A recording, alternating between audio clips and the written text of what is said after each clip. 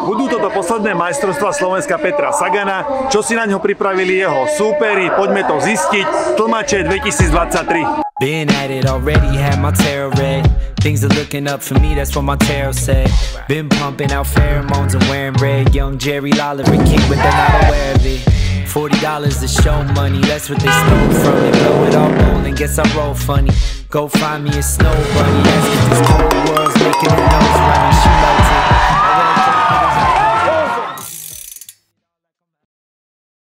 Spoločné majstrovstvá Slovenskej a Českej republiky sa tento rok konajú na Slovensku v Tlmačoch. Kto trošku cyklistiku sleduje, vie, že tie krajiny sa striedajú. Raz je majstrák na Slovensku, raz v Čechách. Takto sa to vlastne deje aj v iných európskych, hlavne menších krajinách. Cieľ je vlastne jednoduchý, aby po kope štartovalo viacej a kvalitných cyklistov. Detaily dnešnej trasy vám predstavím ešte neskôr. Pôjde sa vyše 200 km, ako to na majstrákoch býva zvykom, ale tlmače sú špeciálne aj kvôli tomu, že je to pravdepodobne posledný majstrák, ktorý pôjde Peter Sagan, tak mi napadlo spraviť pri tejto príležitosti malú anketu. Pokúsim sa odchytiť ešte pred štartom niekoľko cyklistov, ktorí dneska budú pretekať a budem sa ich na Petra Sagana pýtať niekoľko vecí. Chalanom dám spoločné otázky. Prvá vec ma bude zaujímať, aké víťazstvo, najväčšie víťazstvo Petra Sagana si najviac pamätajú. Ďalšia vec ma bude zaujímať, nech si spomenú na nejaký vtipný okamžik, ktorý je spojený s Petrom Saganom. A tretia bonusová otázka bude spojená s tým, že keď teraz je vlastne Peter svetová celebrita, športová hviezda, končí kariéru, tak sa ich opýtam, že čo by robili na jeho mieste, čomu by sa po skončení kariéry venovali oni, keby boli na mieste Petra Sagana. Ja síce dnes neštartujem, ale na tieto otázky otázky si sám sebe tiež môžem odpovedať. Ja si najviac e, pamätám víťazstvo na Paríž Rube, tam sa mi teda veľmi páčil ten záverečný únik Petra Sagana, to vo mne rezonuje, to je prvé najväčšie víťazstvo, ktoré sa mi vlastne spojené s jeho menom vybaví. Vtipný okamžik, spomínam si na interviu e, po jednom e, preteku, Peter mal ešte tie dlhé vlasy, vyzeral trošku jak Forrest Gump a počas interviu sa tam spúšťal na tej stoličke, tak to ma vtedy rozosmialo poriadne. No a keby som si predstavil, že som v koži Petra Sagana, končím kariéru, poznajú ma na celom svete, že čo budem robiť, tak tým, že ja mám cyklistiku ako celoživotnú vášeň, tak by som to spravil podobne asi ako jeho brat Juraj. Venoval by som sa cyklistike naďalej, možno by som si spravil nejaký vlastný tým, podobne ako to spravil Kančelára alebo Nibali. Uvidíme, že či nás Peter prekvapí takýmto štýlom. Som zvedavý, čo odpovedia chalani, poďme za nimi. David, idete sa za chvíľu podpisovať pred štartom. Mám ešte pre teba pripravené tri špeciálne otázky, ale najprv k pretekom samotným. Ako máte dnes taktiku? Pôjdete vlastne proti Petrovi Saganovi, pokúsite sa Saganovcom zobrať, utrhnúť titul tento rok pre seba? Tak určite, určite sa budeme o to snažiť, ale tak Peter je to jednoznačne jasným favoritom má určite nevýhodu, že teraz je sám, že už brat vlastne je športovým riaditeľom, nás je 9, tak budeme sa snažiť z toho vytadiť čo najlepší výsledok. A myslíš si, že vy ako Dukla spolu s bagetármi, kde vlastne Juro je športový riaditeľ, že bude tam prichádzať nejakej spolupráci, alebo teda Juro bude sa snažiť pomôcť svojmu bratovi ešte? To bude taká vlastne rozpoltená úloha u Jura Sagana hlavne. Určite áno, ale tak ja si myslím, že keďže Peter vlastne štartuje podľa všetkého posledný krát na domácom šampionáte, tak určite pôjde po ten titul a ja si myslím, že môže, môžu sa nejak dohodnúť, že mu aj pomôžu do toho závodu. Aha, že by vlastne bagetéri pracovali nakoniec na Petra Sagana. Aj keď som teda počul nejaký čas e, dozadu, že sa teda nebude pozerať na tieto rodinné vzťahy a pôjdu si vlastne oni po nejakom väčšom úspechu. Špeciálne tri otázky, toto sú možno posledné majstrovstvá Slovenska, ak si to Peter nerozmyslí. A keby si, si mal spomenúť na nejaké najväčšie víťazstvo Petra Sagana, ktoré sa ti s ním spája, čo by si povedal, ktoré to bolo? Určite prvýkrát, keď vyhral majstrovstva sveta v Richmonde. Mm, to je pravda, to je pravda. Ja som povedal Rubečko, že majster sveta už som bral ako keby nejakú samozrejmosť. Najvtipnejší okamžik, ktorý sa ti s ním spája? No, keď tam po pretekoch nadával, že s kým to preteká. pamätám si, pamätám si. To nemôžeme zopakovať, to by sme museli. E, vypípať. A bonusová otázka, keby si si predstavil, že si v jeho pozícii, čo vlastne u teba ešte môže nastať, že si športová, svetová celebrita, končíš s kariérou, čo by si robil na jeho mieste, čomu by si sa venoval? Určite by som si najprv oddychol troška, aj si dal pauzu od toho všetkého, ale ja by som ostal pri športe určite a ja si myslím, že on ostane. Ostane? Možno nejaké horáčiky? Asi áno. Dobre, dobre, uvidíme, vyťahneme toto video za pár rokov a zistíme, či si mal pravdu. Dobre, dobre. Nech sa vám dneska darí. Ďakujeme. Čaňo, na taktiku som sa pýtal už tvojho kolegu, teba sa spýtam úplne jednoduchú otázku. Skrátene by sme mali váš tým ako nazývať? RRK, GRU, Bagetári, Benzinol tým, alebo ako? No, to je ešte ťažšie. Nemáme presný takýto, že taký nickname. Uh, máme tam troch sponzorov, lebo vlastne tým, že sú naši veľkí hráči, najväčší vlastne sponzori, tak sú umiestnení do A sú rovnocenní? sú rovnocenní do nášho názvu a niekto nás volá RRK, niekto Bagetéri. niekto bagetéri, hej, niekto benzínov, takže je to rôzne. Takže je to jedno, neurazíte sa ani na Nie. jedno pomenovanie. Nie, nie. Toto je pravdepodobne posledný majstra, ktorý ide Peter Sagan. Ja sa pýtam rovnaké otázky viacerých dnes štartujúcich cyklistov. Prvá otázka, Peter Sagan, aké je jeho najväčšie víťazstvo podľa teba? Najväčšie víťazstvo? Mm, ja si myslím, že v Bergene. Majster Majstre sveta. sveta tretíkrát, lebo pred štartom nám to presne vravel tie srandičky. Chlapci, užite si to, štartujete z prvej, z prvej pozície, z prvej liney, už sa to opakovať nebude. Celý pretek rozprával, že no, ide sa rýchlo, ide sa mi zle, neviem čo. A potom vlastne, keď som videl ten záver na videu, lebo tam bol výpadok toho signálu televízneho, tak som, keď som videl, aký bol silný, že si akože pokrýval sám nástupy, tak vtedy som videl, že bol vlastne ešte o triedu lepší od tých, čo boli na bedni, takže to bolo akože neskutočná sila. Super, A ten okruh bol ťažký, išli sa tam brutálne vaty, ku koncu sa zrychloval, zrychloval, to bola taká cyklistika, ešte tá, že sa jazdila, že na majstraku sveta, že fakt, že sa zrychluje, zrychluje, zrychluje a z toho oni si vedia nastúpať. Už minulý rok to bolo troška vidieť, že tá cyklistika sa troška začína meniť. Tým pretekaním v tej Austrálii, že e, už tam chceli tie úniky a tak ďalej, Aha. aby, aby tie početne, tie silnejšie týmy, aby vyhrávali vlastne tou, tou početnou silou. Jasné, jasné. Dobre, díky. To je super, že máš takéto insiderské informácie. Najvtipnejší okamžik, ktorý sa ti spája s Petrom. Čo by si si na čo spomenul?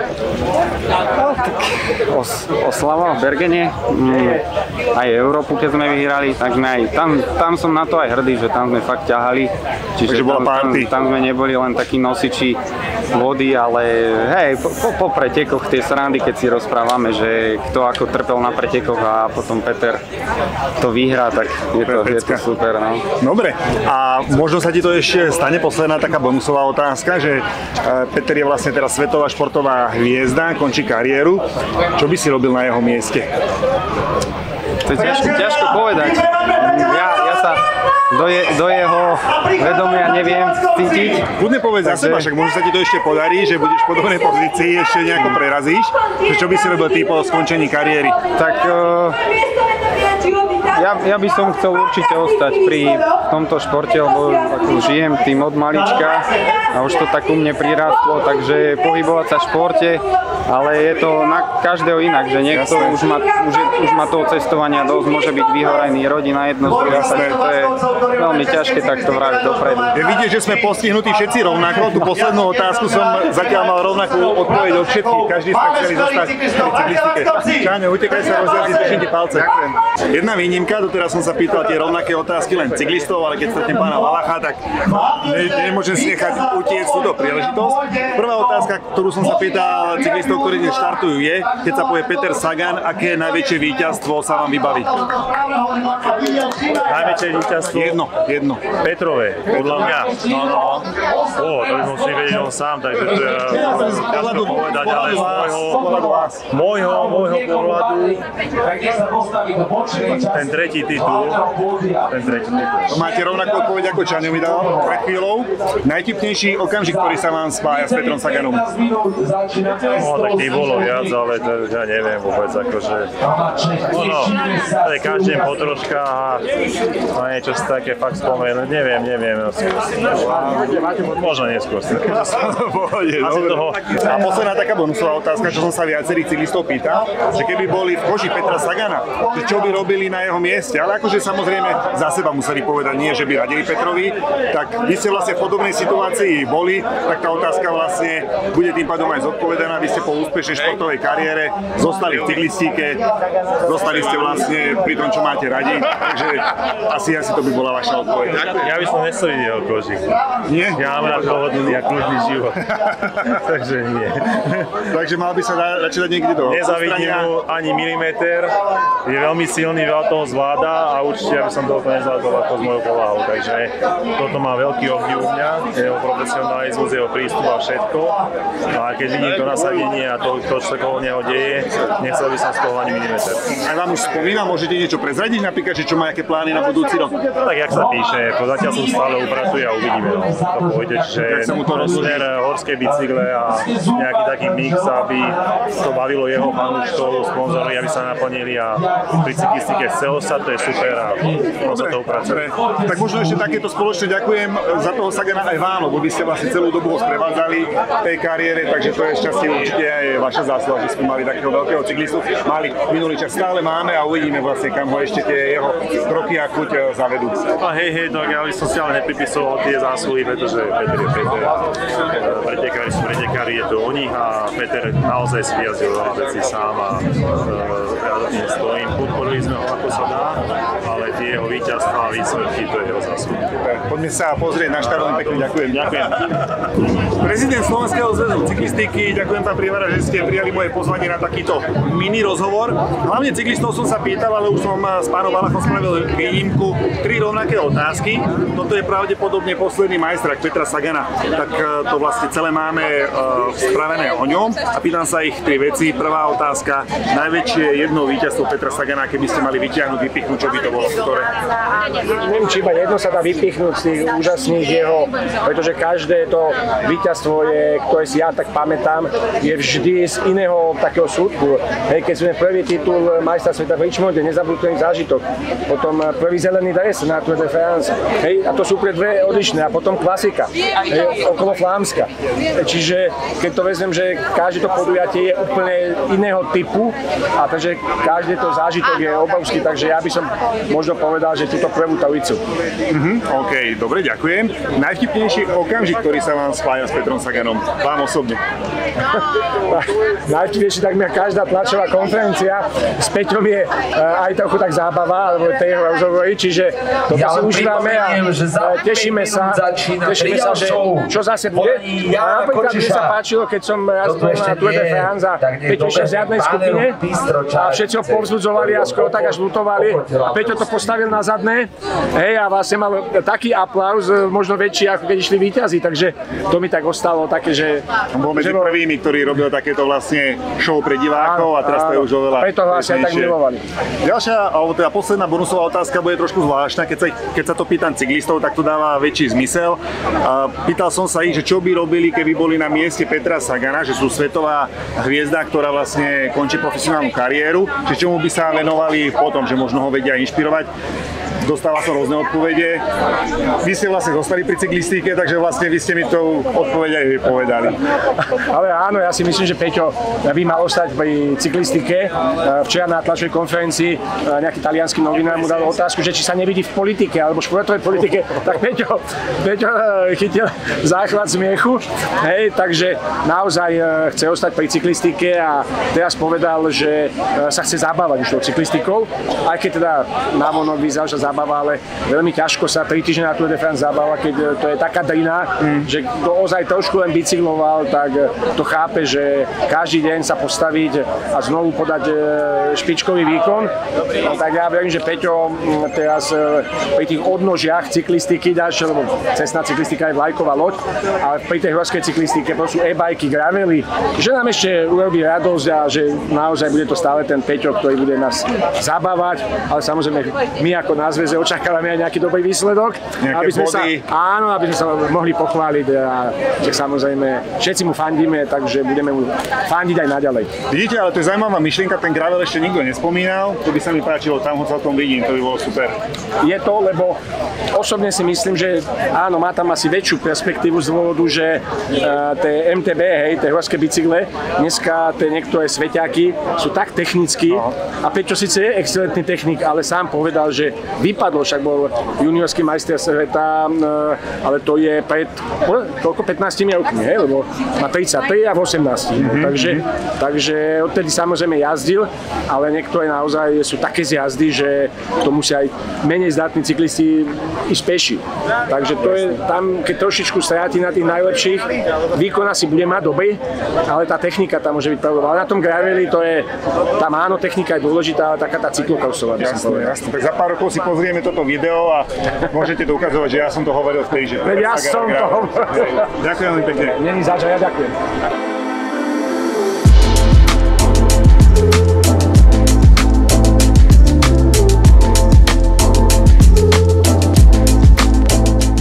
Pretekárov už máme na trati, pôjdu za chvíľočku do cieľa prvého okruhu.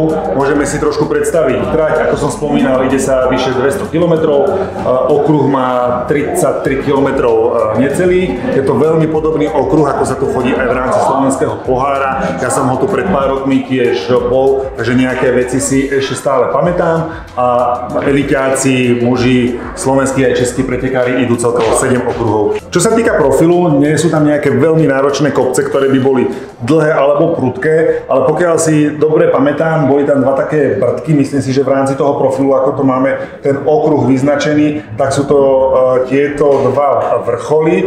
Ide sa vlastne z Tlmáč smerom na elektráreň a Mochovce. Pokiaľ si dobre pamätám, tak tie kopce sú také, že doťahu na hrubej píle, ale pokiaľ sa tam vpredu zatlačí, tak podľa mňa na selekciu to môže stačiť. Čo sa týka dojazdu, tak pred e, cieľom je aj také malé stúpanie, je to niekoľko desiatok metrov, ale podľa mňa ten dojazd bude vďaka, tomu aj zaujímavejší. Veľmi bude záležať od toho, aký bude priebeh samotných pretekov, či príde do cieľa nejaká veľmi vyselektovaná malá skupina alebo únik, kto v ňom bude, aké bude zloženie, či tam budú Česi, Slováci, lebo toto všetko si tí pretekári sledujú e, v rámci e, takýchto spoločných majstrovstiev A Slovenska. Funguje to tak, že ten, dajme tomu, slovenský pretekár môže prísť do cieľa až 5, ale pokiaľ sú pred ním len 4 Česi, takže titul získal, takže všetky tieto veci zavážia. Tak nachádzam sa v riaditeľskom e, voze, sme v kolóne za cyklistami. V ktorom sme kole? Asi štvrtom? Piatom. V piatom už. Uteká to z celkového počtu 7 kôl, takže ten záver príde rýchlejšie, ako by sme sa nádejali. Čo sa týka priebehu, vyzerá to tak, že pelotón si kontroluje čelo, tam sú len dvaja jazdci a majú minimálny náskok, takže to vlastne nič neznamená. Ale teda keďže som v riaditeľskom aute, tak logicky tu sedím aj s riaditeľom pretekov, ktoré si to auto aj sám šoferuje, Tomáš Baláš. Ahojte. Najprv ťa musím pochváliť, že e, majstrak v Tlmačoch je teda reprezentatívny.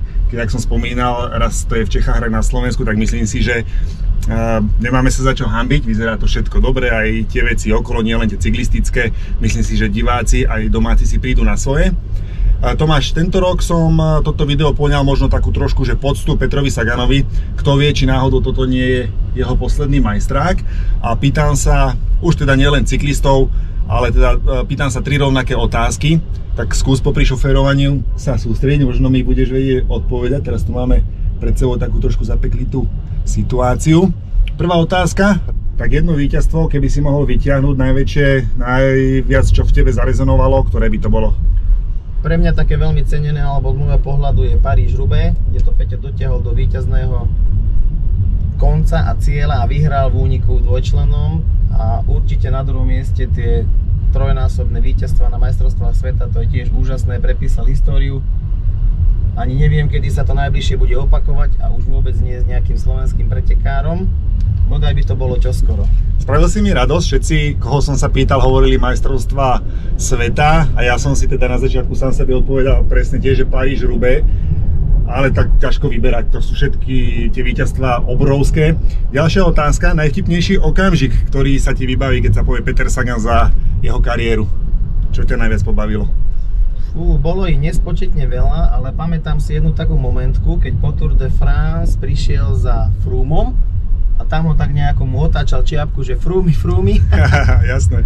tak to mi prišlo také, také veľmi spontánne, zábavné a úplne že uvoľnené. Vidíš, vidíš, ja som tiež dával jeden moment z interviu, keď sa na tej stoličke spúšťal, keď mal také dlhé vlasy, to ma vtedy pobavilo najviac. No, a toto bude taká hypotetická otázka, keby si bol v pozícii Peťa Sagara, že končíš svoju profesionálnu kariéru ako svetová hviezda, čo by si robil na jeho mieste, čomu by si sa venoval? Môžeš si vlastne vybrať čokoľvek, neobmedzené možnosti.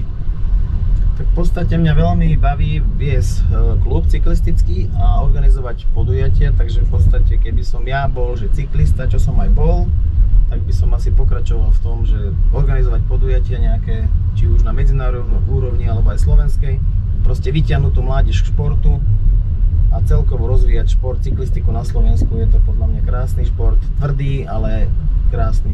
Super. Myslím si, že inú odpoveď som dnes ešte nedostal. Všetci by chceli zostať pri cyklistike, tak to som rád, že ty si mi vlastne uh, povedal rovnakú vec. Tomáš, díky za interviu, poďme pozrieť trošku do balíka, nech si spravíme nejaké pekné ilustráky.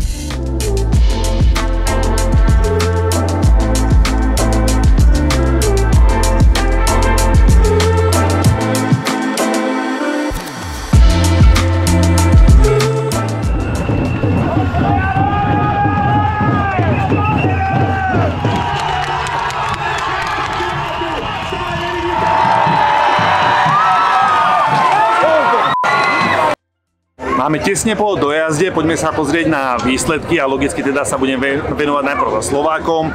Veľmi neštandardný dojazd poznačil eh, pád z väčšej skupiny alebo z menšieho pelotónu sa šprintovalo. Peťo Sagan sa dostal do pádu. Teraz máme len niekoľko okamžikov po tom, ako dojazdili jazdci, takže nemáme záverečné vyhodnotenie od rozhodcov. Tí možno budú chcieť ešte vidieť nejaké videozáznamy a možno sa poradie celkové ešte bude meniť. Čo si myslím, že sa meniť nebude, je e, celkový víťaz a ten by mal byť pre e, nasledujúce obdobie Matúš Toček. Po dlhých rokoch, kedy vlastne tento titul patril výhradne Saganom, máme u nás na Slovensku zmenu. Titul majster Českej republiky pôjde do týmu Trek Segafredo. Tam už teda museli naštartovať šiace stroje, aby pripravili Matiasovi Vackovi majstrovský dres. Matiasa vlastne sledujem, bol už na viacerých e, podujatiach, mal si myslím, že celkom dobre nabitú jar, bol na viacerých klasikách klasikách, má výbornú sezónu, takže myslím si, že tento titul si zaslúžil a pekne ho ukáže v televízii pri ďalších pretekoch tej najvyššej kategórii. Podujatie v Tomáča hodnotím veľmi pozitívne, myslím si, že organizátorom sa to všetko podarilo, bolo to do posledných detailov všetko dobre zorganizované. Myslím si, že veľkú zásluhu na tom má to, že slovenský pohár sa tu organizuje už niekoľko rokov, takže tie skúsenosti im určite nechýbali. Od Tomáša Baláža mám ešte jednu špeciálnu prozbu, okrem policajtov a veľa dobrovoľníkov, ktorí sa starali o celé podujatie, dnes pomáhali aj vojaci. Špeciálne ďakujem má dnes putovať do 13. motorizovaného pluku v Levoči. Páni vojaci a vojačky, ďakujeme.